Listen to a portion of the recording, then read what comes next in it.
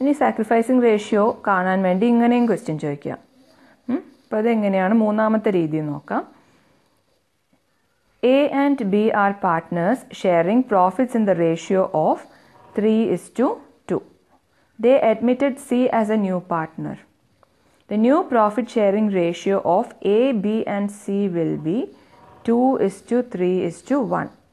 Calculate gain or sacrifice ratio of all partners.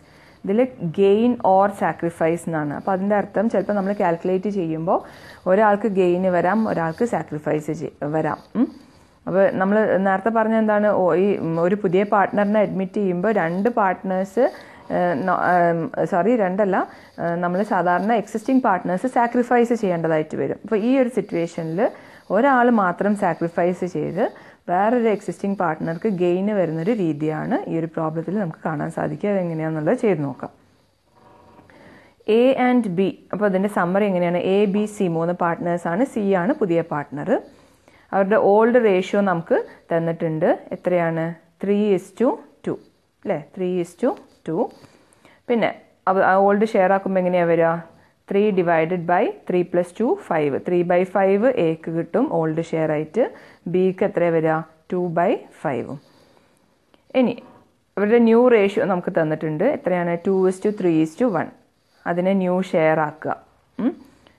Two plus three five plus one six വരും. അല്ലേ total six വരിക. അപ്പം ഇതിൽ two by six new share ആർക്ക് കിട്ടും? എക്ക് കിട്ടും. ത്രീ ബൈ സിക്സ് ബിക്കും കിട്ടും. സിക്ക് എത്രയാണ്? വൺ ബൈ സിക്സ് ആണ് കിട്ടുക. ഇനി നമ്മൾ സാധാരണ സാക്രിഫൈസിങ് റേഷ്യോന്റെ ഫോർമുല അപ്ലൈ ചെയ്ത് നോക്കുക.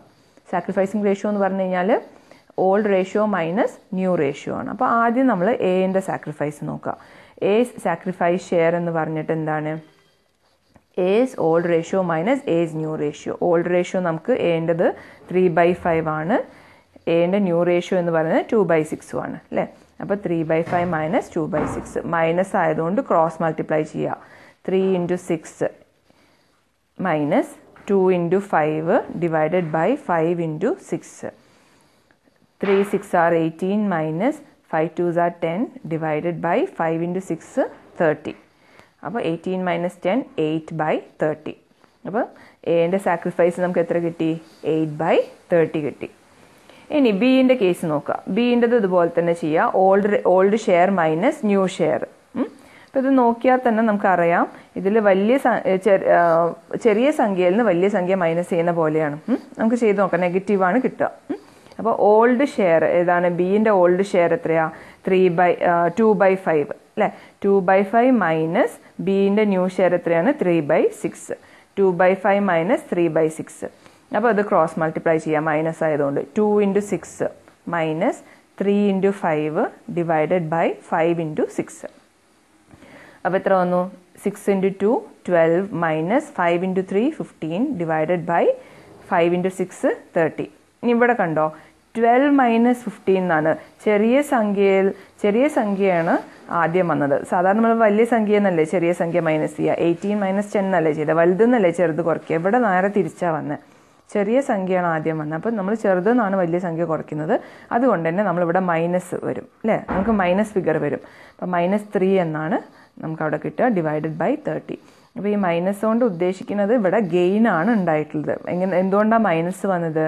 ഈ ഒരു കേസിൽ ബി എന്ന് പറഞ്ഞ പാർട്ട്ണർക്ക് ന്യൂ റേഷ്യോ ഓൾഡ് റേഷ്യോനെക്കാട്ടിലും കൂടുതലാണ് അല്ലേ?